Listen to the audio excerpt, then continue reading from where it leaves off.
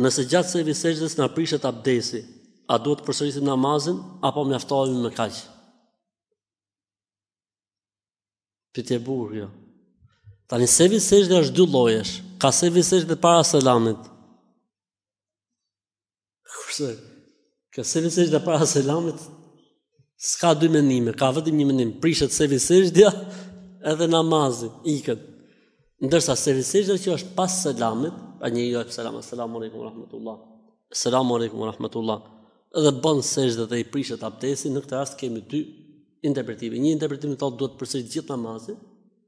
Dhe një interpretim që thotë jo, ai ka dalë nga namazi dhe sevi sexhde është vaxhib, pra është një detyrë, ai namazin e ka kryer dhe namazi është i saktë.